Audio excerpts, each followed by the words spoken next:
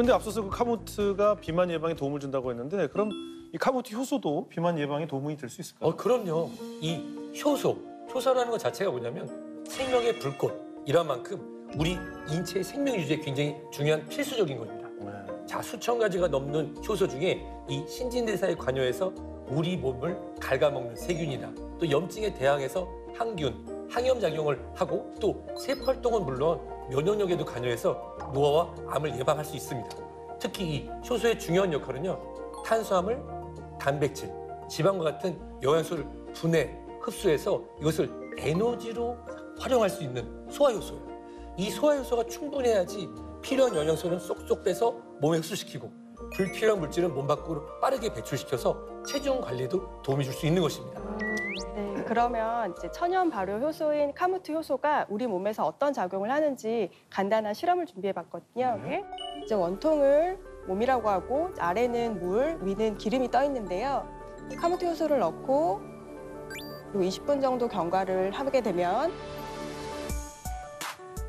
저렇게 이제 위에 떠 있는 기름과 카무트 효소가 함께 덩어리째 떨어지는 것을 확인할 수 있었는데요.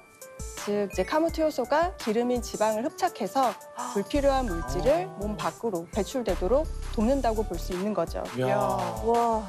이렇게 카모트 효소를 먹고 나니까 몸이 가벼워졌는데 아까 그렇게 지방이 툭 떨어져 나가는 그런 이유가 있었던 것 같아요. 예. 중년 여성분들의 고민, 나이살. 하, 근데 이 나이살 있잖아요. 그 이유가 있어요. 뭐냐면 우리 몸의 효소가 줄어들고 있기 때문입니다. 이 효소는 세포를 활성해서 에너지를 소비하는 걸 도와주는 촉진하는 역할을 하거든요. 근데 나이가 들수록 효소가 줄어들면서 에너지 소비가 잘 안 돼요. 그러니까 어떻게 되겠어요? 나이살이 자꾸 찌는 거죠. 실제로 노년기에는 청년기보다 소화효소 분비량이 최대 50%까지 감소했다는 연구 결과도 있습니다.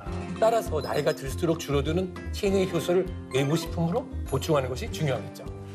그리고 이제 중년 여성들의 나이살 고민 해결을 위해서 또 중요한 것이 있는데요. 바로 배출입니다.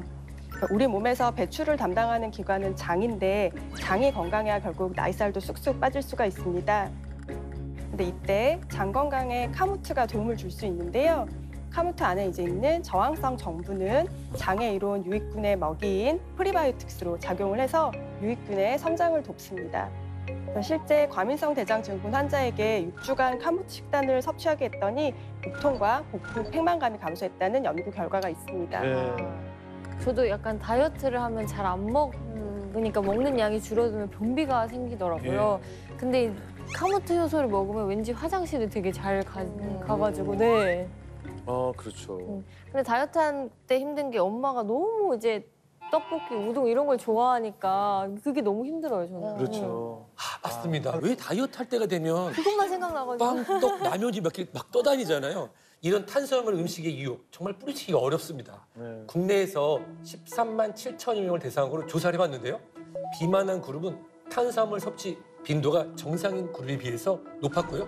특히 이 복부 비만 그룹은 짜장면, 짬뽕과 같은 면류 섭취가 빈도가 높았다고 합니다. 네, 결국은 이 탄수화물 음식을 많이 섭취하게 되면 이제 과잉으로 섭취한 포도당을 지방으로 바꿔서 뱃살이나 팔뚝살, 허벅지살 등으로 이제 차곡차곡 쌓여가지고 이게 비만의 원인이 되는데요. 그런데 이때 유혜정 씨가 챙겨 드신 카무트는 식이섬유가 풍부해서 지방 연소를 활발하게 하기 때문에 지방이 쌓이지 않아 비만 예방을 돕습니다.